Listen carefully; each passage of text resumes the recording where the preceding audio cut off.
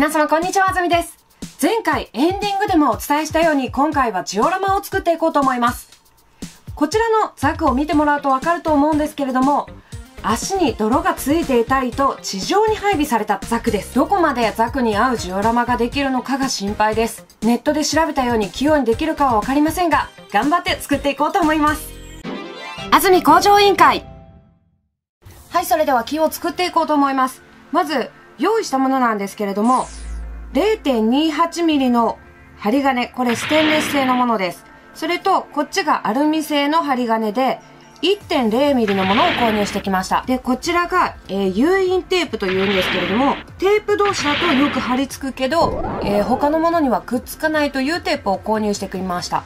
これ、えー、園芸用です。で、使う道具はニッパーとベンチを使います。木の高さなんですけれども、だいたいザクの腰あたり、それとザクと同じぐらい、一番大きいものでザクよりも少し高くしようと思っています。では、早速、枝から作っていこうと思います。で、怪我しないように、これ指サックつけています。これコメントで教えていただきました。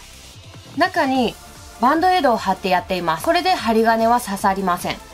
それではやっていきます。まず針金細い方でやっていきます。このように適当に針金よいしょ。切って何回かでまとめます。でまとめたところで輪っかになっているところは切っていきます。でまずはこの切った針金3本で枝を作っていきます。先っぽ少し巻いたらそこをペンチで握って巻いていきます。私一番初めこうやって巻いてたんですけどこれだと全くまとまってくれないので大げさに言うとこういう折り曲げて回していくとすごく綺麗にまとまるようになりました。このように最後まで巻けたら次はこれを半分に折ります。これ一応一本一本の枝になる感じなので長さをあまり揃えすぎない方がいいと思います。少しずらして折ります。で先っちょをつまんでここからまた巻いていきます。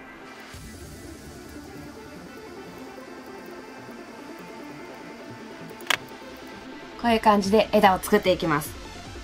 こういうのをいっぱい作っていきます。はい、いくつか枝ができたので、次は幹を作っていこうと思います。まず、開く方の針金の方ではなくて、逆。こっちのぐるぐる巻いた方。こちらに誘引テープを巻いていきます。誘引テープ同士はくっつくので、針金に巻きつけて、しっかりと針金と固定させます。でずっとぐるぐる巻いていく感じ。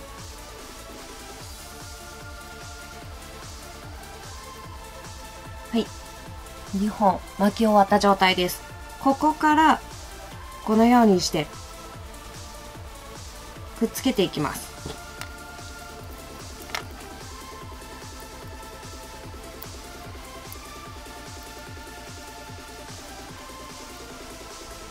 細い木の幹ができました次は2本ずつの枝。これで作っていきます。作り方は先ほどと一緒です。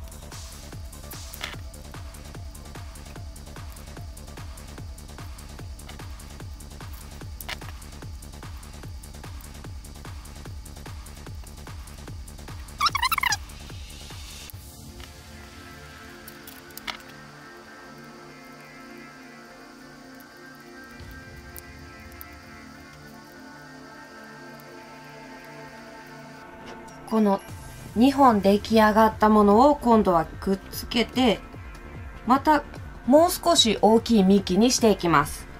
この時上から見て枝が放射線状になってるようにくっつけると木っぽくなるんじゃないかなって思います。これをどんどんどんどん繰り返していって、こういう幹にしていきます。この下の方、枝の長さっていうのはこんなもんしかないのでさすがにここまでの長さは作れないです。そこでこちらアルミの針金を使って長さを伸ばしていきました。この大きさでだいたいザクの腰あたり。これを2個重ねることによってザクと同じぐらいの高さ。これを3つ合わせるとザクよりも少し高い感じになります。こうして木をどんどん作っていこうと思います。ザクよりも身長が高い木。ザクと同じぐらいの身長の木。あとザクの腰のあたりの高さの木ですね。この3種類の木が9本できました。次は色をつけていくんですけれども色は茶色に少し黒を足して濃いめの茶色にしています。これを塗っていきます。最初組み上げてる時は結構大丈夫かなと思ってたんですけど意外にこのテープが木のいい感じのこのデコボコ感を出してくれてるような気がします。これに葉っぱつけたらもうちょっと樹木っぽくなるかなっていう感じですね。出来上がりが楽しみになってきました。茶色を塗り終わって乾いてきたので今度は白を使ってドライブラシをやっていこうと思います。木に少し濃淡をつけたかったのでやっていきます。筆に塗料をつけてペーパーで塗料を取っていきます。乾いた状態で塗料を塗っていきます。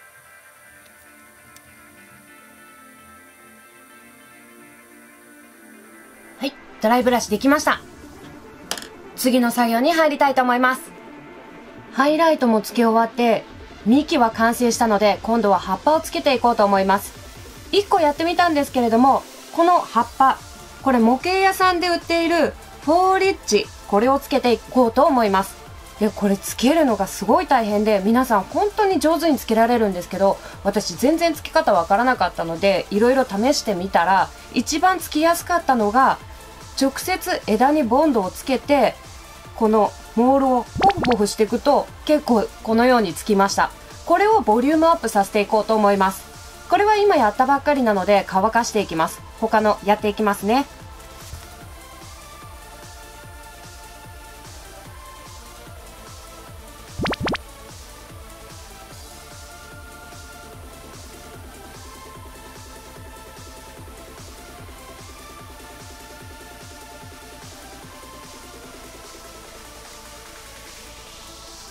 こういう感じで葉っぱをつけていきます。はい今フォーリッジを、えー、全体全てにつけて1回目で今終わってるところなんですけれども2回目つけようと思って、えー、挑戦したんですが全部落ちてしまうというそんな状況でした。何が悪かったのかなと思ってちょっと調べてみたんですけれども枝の数がかなり少なかったみたいですね。なので全然葉っぱがついてくれないみたいです。もうここはコツコツ、こうちょっとずつつけていくしかないんだなっていうのが分かりました。そしてこの葉っぱなんですけれども、このボンド水、霧吹きしています。この霧吹き、えー、ボンド水なんですけれども、ちょっと濃いめのボンド水に中性洗剤を少しだけ入れてます。この中性洗剤がパーツとモールをくっつける役割をしてくれるそうです。皆様もやるときは挑戦してみてくださいね。それでは2回目のフォーリッチつけていきたいと思います、はい、木は今乾かしているのでその間に土台を作っていこうと思います。今回使うのはこちらです。ミスター背景クレイという粘土を使っていきます。この粘土なんですけれども泥を表現できるそうです。で、今からこの土台に泥を敷き詰めていくんですけれども、敷き詰めるにあたって、ザクたちが歩いてきた足跡だったりとか、木の配置だったりとかを考えながら、えー、デコボコだったりとかをつけていきたいと思います。結構ベタベタした粘土。切れ口は紙粘土みたいなんですけどね、これ。まあ、あるブロガーさんが言ってたんですけど、ジオラマは、こう自分が作りたいものを作ればいいと。やり方は、もうそれぞれあるんだからっていうことを言っていたので、ちょっと安心しました。そうやって言われてみると、そうですよね。もう自分が好きなように作るっていうのがジオラマですもんね。では、ザク3体を1回どかします。これ土台なんですけれども、もう先に作っときました。木の板なので、あの、黒のペンキを塗ってあります。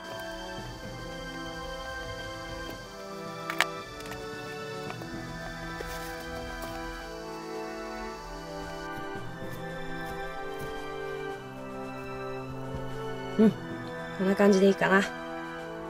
はい。今、足跡を作ってみました。ザク、一番先頭にいるザクが、ここを歩いてきた、まっすぐ歩いてきてる様子を、この上で表しています。粘土を蹴るような感じで跡をつけました。こうすることによってちょっと歩いてる感出てるかなっていう感じです。他の2体の足跡もつけていこうと思います。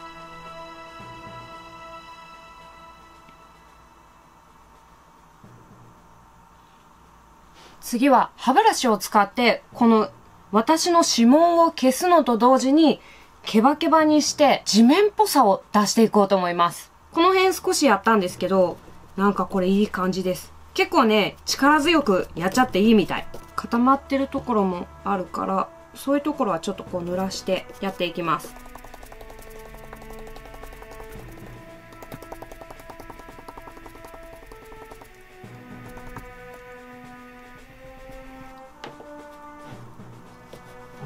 全体的に跡をつけることができたので、この辺にしときたいと思います。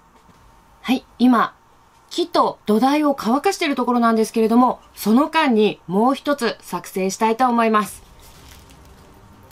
これ一つ作ってみたんですけれども、岩に見えますか？まだちょっと色を塗ってないので分かりづらいかもしれないですけれども、これスタイロフォームちょっと切り出して作っています。それに今、こちらのペースト。これを塗っている状態なんですけれども、ここに色を塗って岩のような、石のような感じにしていきたいと思います。まず、スタイロフォーム、ある程度の大きさに切ります。岩も自然にできたものなので、同じ形、同じ大きさっていうのはあまりないと思うので、結構適当にざっくり切っていってしまいます。こんな風に形が歪だったとしてもあまり気にしません。で、ここからどうするのかというと、爪で角を取っていってしまいます。岩とか石って基本的にはこう転がってね、周りがこう、角が削られていくっていう感じだと思うので、結構適当にちぎっていっちゃいます。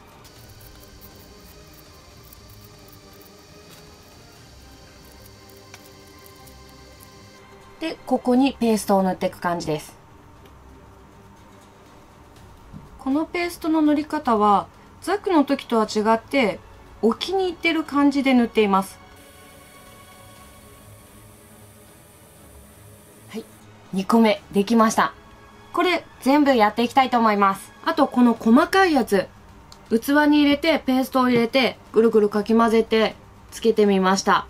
それでは少し乾かして色塗っていきたいと思います。ちょっと濃いめのグレーを作ってみました岩を取り付けてジャボンとつけていきます。このようにして色をつけました。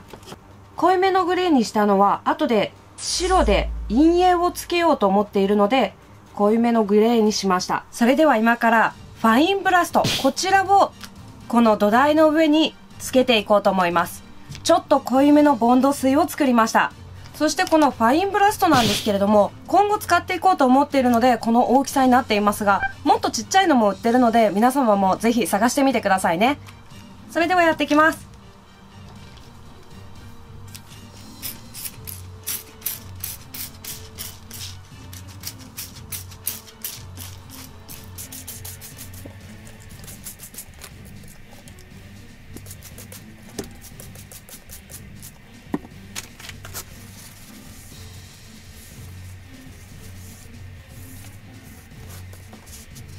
温度水は全体が湿るまでかけていきます。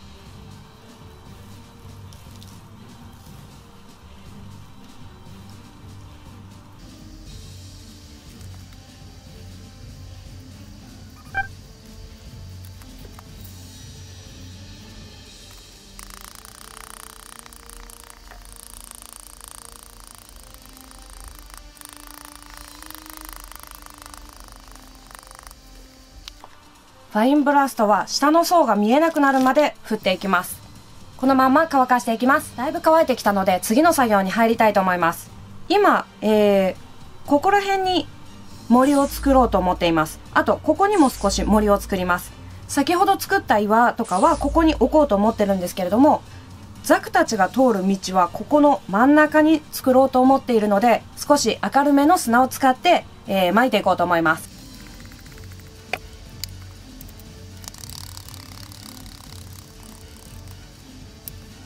この状態で乾かしたいと思います。それでは次は岩を取り付けていきたいと思います。えー、岩なんですけれどもこのように爪楊枝を短く切って裏から刺しています。これを押し当てるとここに跡がつくのでここに穴を開けていきます。爪楊枝は 2mm なので 2mm の穴を開けます。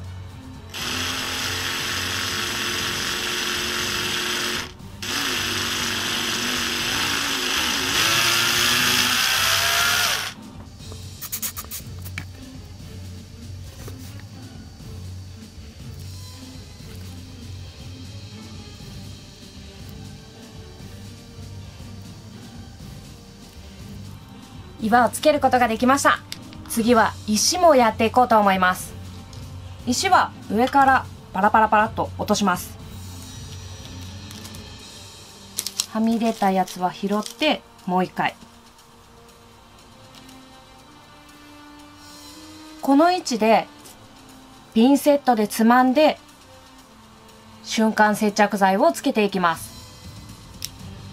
石と石が重なり合ってる場合は上の石を先に持ち上げて攻め台をつける。下の石にくっつけてから地面につける。という形でやっていった方がいいと思います。はい。岩の接着が終わったのでボンド水を使って次は境界線から向こう側、えー、緑をつけていこうと思います。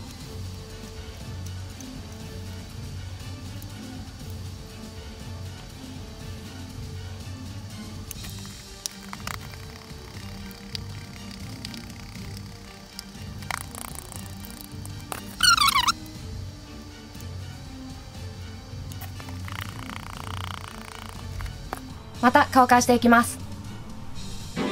安住工場委員会。今木を2本立ててみました。小さい方の森だけやってあります。それでは大きい方の森やっていこうと思います。木の幹の太さを測ってドリルで穴を開けていきます。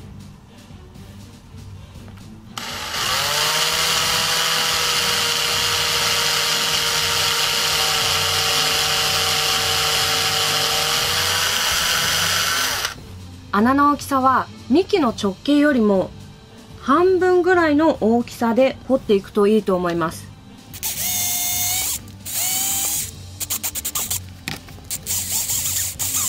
はいこの木なかなか苦戦しました。今10分間ぐらい戦ってましたこいつと。はいということで今2本立てれるような状態になりましたのでこれを瞬間接着剤でつけていこうと思います。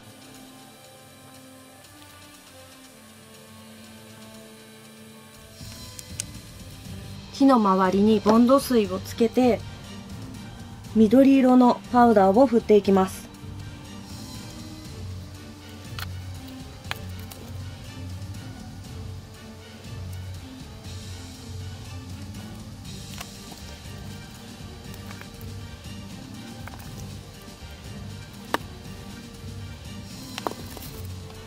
このようにして立てていきます。